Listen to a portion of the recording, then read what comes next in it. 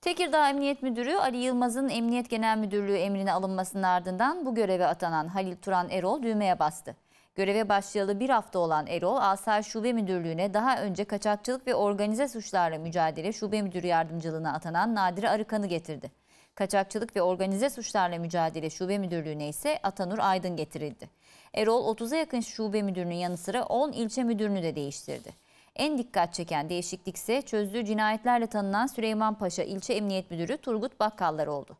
Hayrabolu İlçe Emniyet Müdürlüğü'ne atanan bakkalların yerine ise Yaşar Mercan getirildi.